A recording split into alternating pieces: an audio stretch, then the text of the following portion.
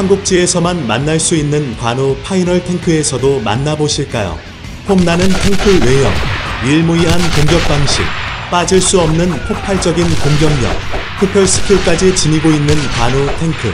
솔플로도 충분히 모든 던전들을 클리어할 수 있습니다. 너무 탐나네요.